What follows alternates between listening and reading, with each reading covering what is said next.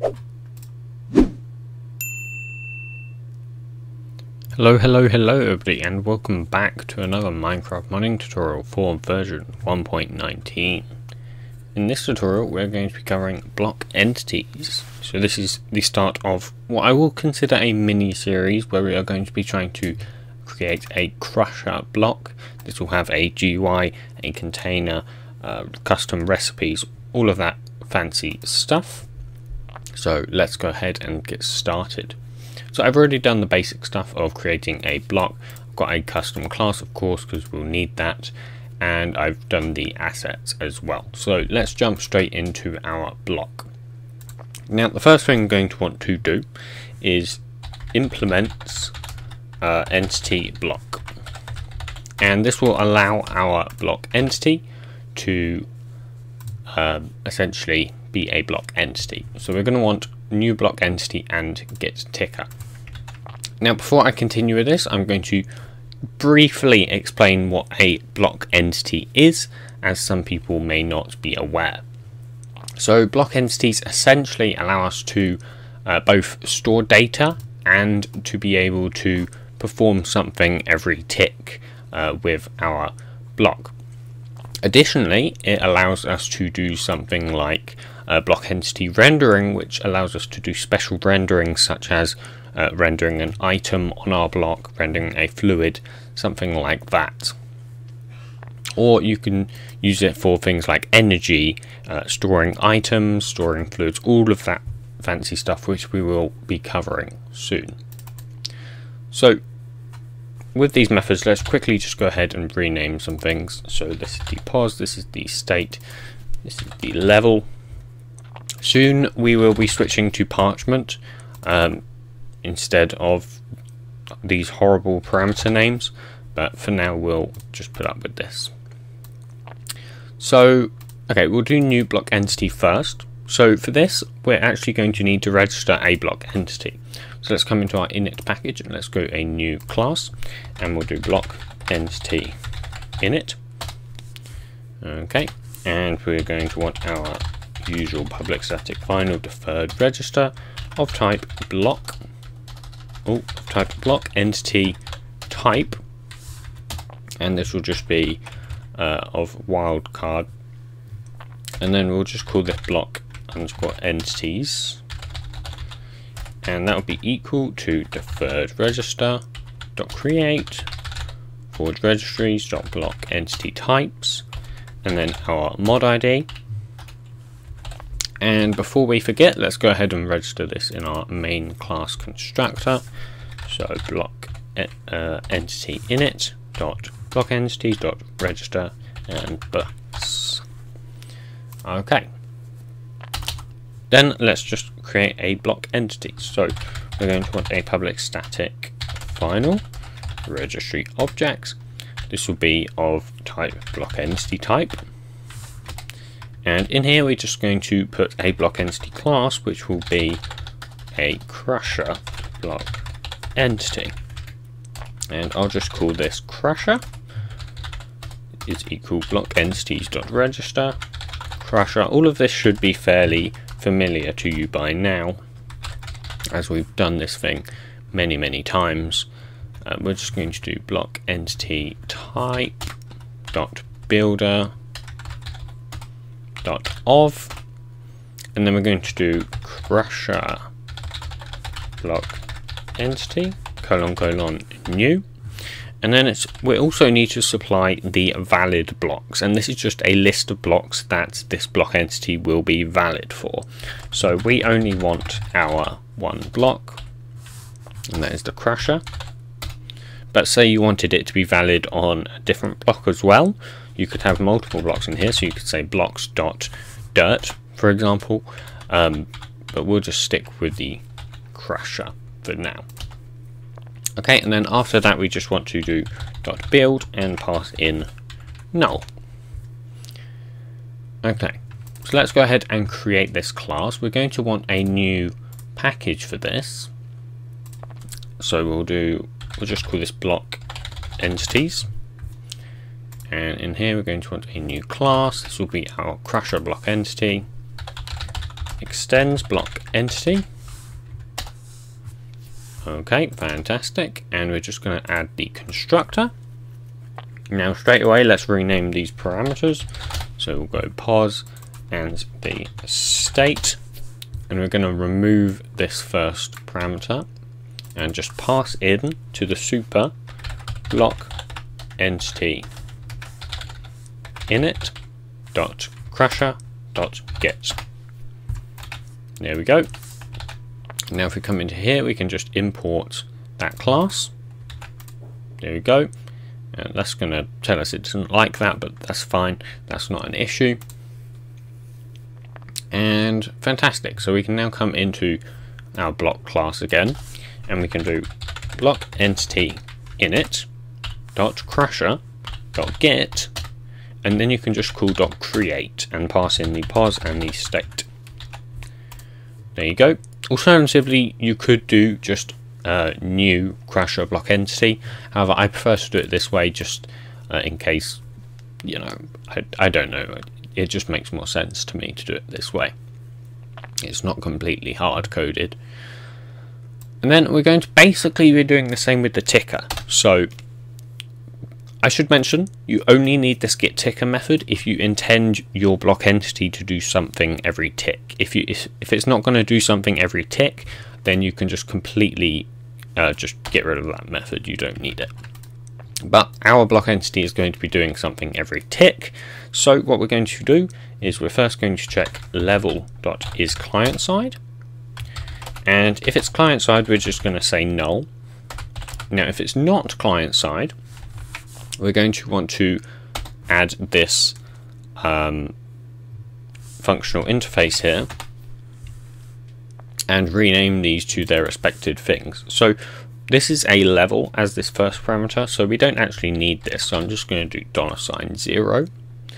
And then this is the pos. Now we actually do want this. This here, this is the block state, so we can just do dollar sign one. We don't want that. And this is the actual uh, block entity, so we're going to want that one. Okay, and all we need to do is say uh, if um, block entity is instance of our block entity class, so crusher block entity, and I'll just call this crusher. Then all we need to do is do crusher.tick. There we go. Now if we come into our crusher class, we can just go ahead and create this tick method. That's a public void tick. There you go. And you'll see that works perfectly fine. Okay, fantastic. So, we actually don't need this pos, so we could just do dollar sign one for that and dollar sign two for that one. Well, actually, can we? No. Okay. Fantastic, so that's pretty much all we're going to need. We are going to want to override the use method, but that will be more for a future tutorial. So I'm just going to quickly go ahead and rename these, and we'll cover the actual uh, use in possibly the next tutorial we'll see. So this is the level, and this is the pos, the player, and the hand, and finally the hit result. There we go. Okay, we'll just leave that there for now. So now we can come into our block entity class and we can do whatever we want. So you have this tick method, you are free to do whatever you want in here. So if you want to access the current uh, level, you can just do this dot level. If you want to access the current block position, it's just this dot block pos um, or this dot world position. They're the same thing. Um, if you want to access the state, you can just do get block state. Um, yeah, and that's pretty much all you would really need. Yeah, so from there you can really do uh, whatever you want. Uh, if you want to save data in your block entity, which you're probably going to want to do. Let's say you want to have a field here, so private int progress, right? And you're probably going to want to save that progress. So let's go ahead and say, um, let's just say in our tick method we do progress plus plus.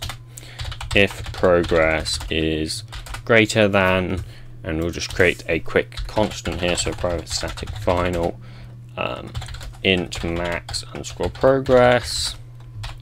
We'll just say if it's equal to 100, so let's just do that. Okay, so if it's greater than max progress, then we can just say progress is equal zero and then I don't know you could um, do something so like this dot level dot add fresh entity. A new uh, pig entity maybe? New pig. Uh, just give it this dot level. Oh no what it, it takes? Okay so the entity type so entity types dot pig and then uh, this of level. Right. And that's actually not going to work because we haven't set the position so let's just quickly do our pig is equal that and then pig dot set position. Uh, this dot world position dot x. This dot world position dot y. And this dot world position dot z. And then just add a pig. And you would now have that. So basically that would mean uh, every uh, that's fine that's not going to be null just ignore that. Uh, but that would mean essentially every 100 ticks it's going to spawn a pig right? Um, and you may want to save that progress for when you leave the world and come back you may want to save it. So to do that, you would just override the load method and also the save additional method.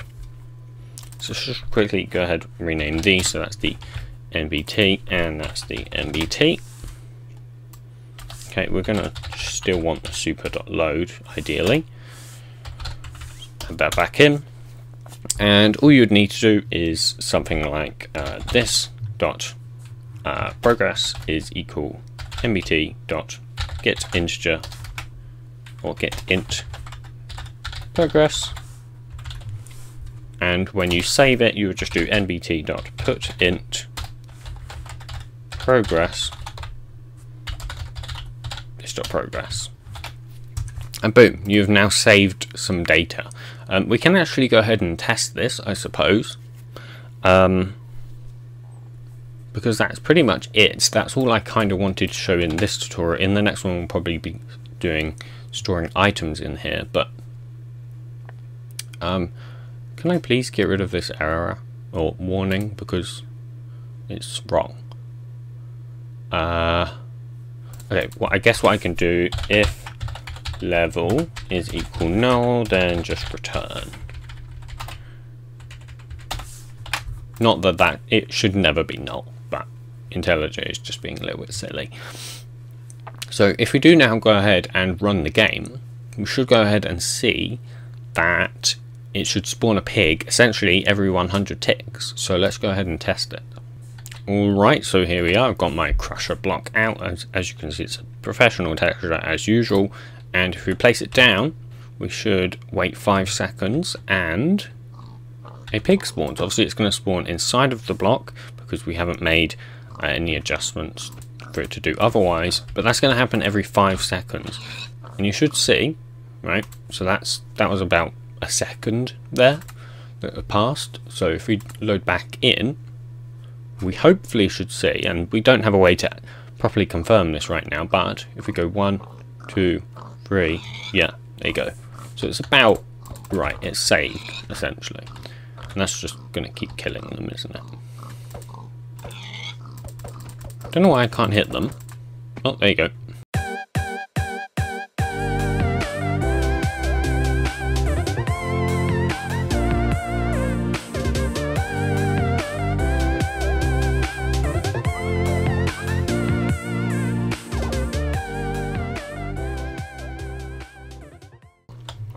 So yeah, that's going to be pretty much it for this tutorial. However, in the next tutorial we'll probably be covering storing items Um, either that or syncing to the client, but that'll probably be in a future tutorial. Uh, it would make more sense there. So, yeah, I hope you guys did find this tutorial useful. If you did, please do be sure to smash your face into that like button and subscribe. If you really enjoyed, please do be sure to share it.